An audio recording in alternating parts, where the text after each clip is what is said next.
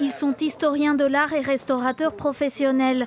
Mais aujourd'hui, ils ont troqué les outils traditionnels de la restauration du patrimoine par des harnais d'escalade. Ce matin, ils s'apprêtent à mener une mission de contrôle inédite de la tour de Pise. Nous inspecterons l'état de conservation des différentes superficies externes de la tour. Les colonnes, les chapiteaux, les arches. Mais aujourd'hui, ça sera différent, car on sera suspendu avec des cordes. Et pour cause, pas d'échafaudage cette fois-ci sur la célèbre tour penchée. Vas-y, tire la corde. Pour pouvoir participer à cette mission, le groupe a suivi une formation avec des professionnels de l'escalade de haute montagne.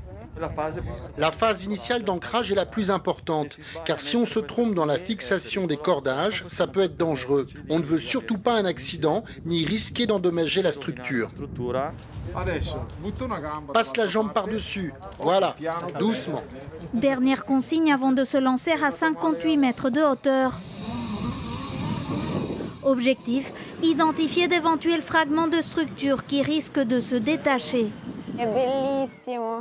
C'est magnifique de pouvoir voir la tour depuis ici.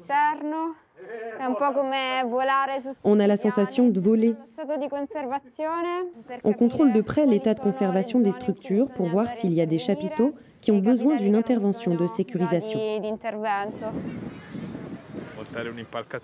Monter des échafaudages est compliqué et cela impliquerait une dépense très importante. Par contre, ce procédé avec les cordes est plus simple, plus flexible et nous permet plus rapidement d'assurer la protection de ce patrimoine. Un patrimoine qui, grâce à ses restaurateurs acrobates, continue à faire rayonner l'Italie partout dans le monde.